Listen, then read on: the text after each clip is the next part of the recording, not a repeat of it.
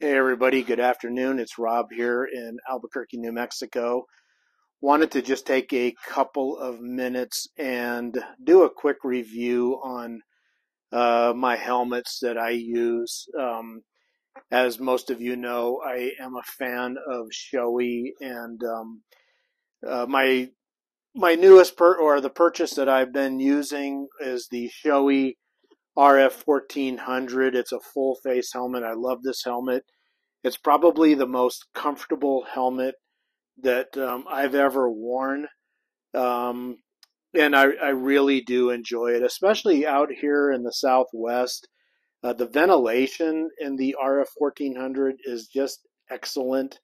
Um, you know, it's just, it, it can be miserably hot out here, but the venting in the front as well as uh, on the top are just so good. And the exhaust, it's got a large exhaust port in the back um, that just allows all this air to circulate through, and it actually does uh, keep the sun off my head and keep me uh, quite cool. And of course, the safety factor with wearing a full face.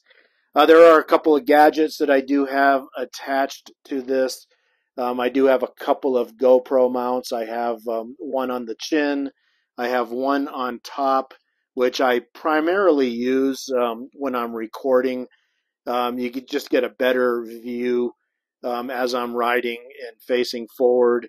And of course, I do have the microphone adapters that I can I can pull pull out and attach to my GoPro that sits up on here.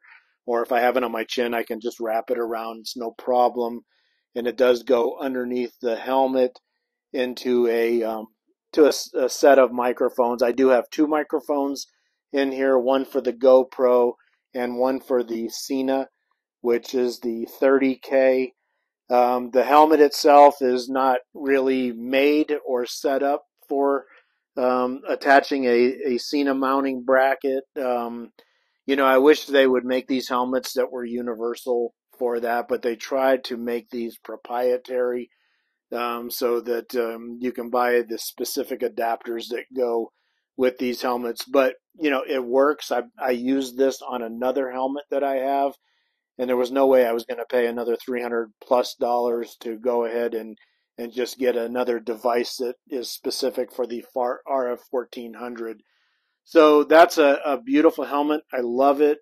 Um, and uh, of course it is um, one that I've been wearing um, as my daily rider uh, for about the last year, little bit, little bit over a year. Right when the 1400s came out is when I bought this one, and it is in ballast gray, which uh, is a color that I like uh, quite a bit.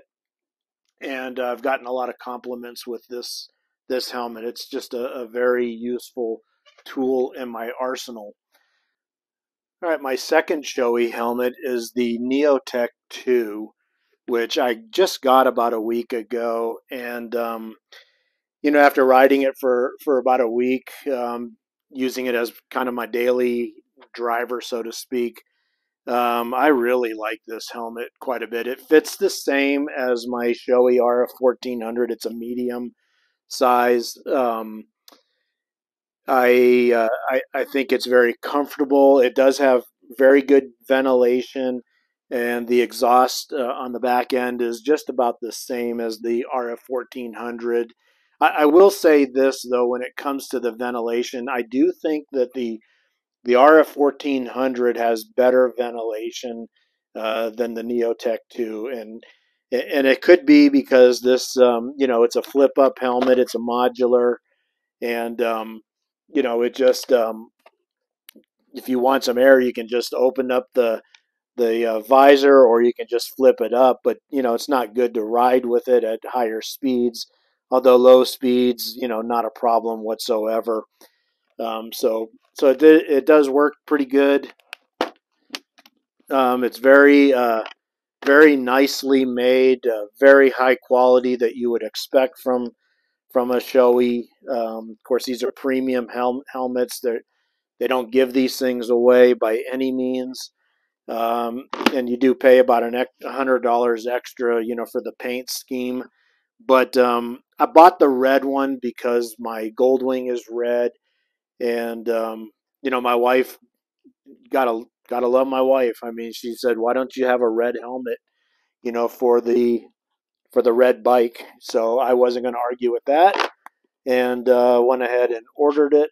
Uh, it does have the flip down um, uh, dark visor, which I really like. The RF 1400 does not have that, um, but I do wear sunglasses as well uh, when I'm riding. So now that I'm getting my hands all over this thing, I'll have to clean it up a little bit. Uh, one other thing too, um, the Neotec 2 does come with a a mountable area where you can add um, the uh, Sena. It's proprietary to this helmet. It's the Sena SRL or the SRL2. It just mounts. This comes off, and you can put it on e- either side. It the little plate comes off, detaches, and it slides right in there. It's made to fit flush. Uh, just a little three button device. Um, the Bluetooth is not um, not as good as the 30k that I have, and I wasn't going to spend another three hundred dollars um, to get something just because it's flush mountable um, with a little bit less functionality. So what I did is I went and I bought another uh, mounting bracket for the 30k, so I can uh, take take it off my. Um, let me take it off my RF 1400 real quick.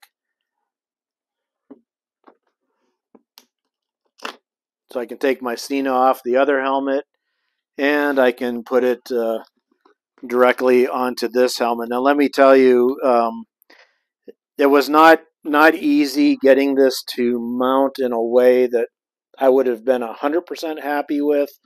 But again, you know, for the cost savings, um, I used the glue, the 3M tape on the helmet itself instead of trying to force the uh, the screw mount underneath here. Was just really a nightmare to try to do that. And I, again, I don't know why some of these helmet manufacturers make it really tough on somebody that has, and there's a lot of us that have already, we have devices that we want to just use them in an interchangeable fashion. And we got to jerry rig it to make it work. So it's a little funky because it sits kind of back from where it should normally sit and I did try to mount it here, but I just didn't like the way it was.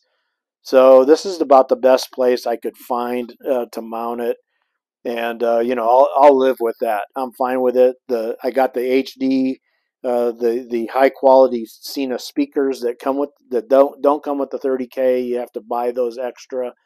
Um, but the clarity is just beautiful, and I've ridden with it already, and it's it's excellent. I just love the functionality of being able to listen to music on my phone uh, through Bluetooth or make phone calls or listen to podcasts or or whatever. So I'm really happy with it.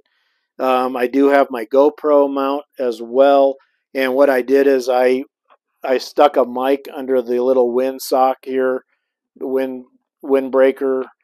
Uh, I just ripped a little hole in here, just cut a little hole and just shoved the mic in here so so that way it'll attach right to my GoPro. It, it's the perfect size, and I just put a little piece of tape in here when I'm using it just to kind of hold it in place. So if I don't need to use it, I can just pop it right out and just take it out, you know, and go for a ride without recording if I want to do that. But all in all, guys, I'm really happy with the Neotec 2 um, and the RF 1400. They both have their place uh, in my my uh, repertoire of at gag gear.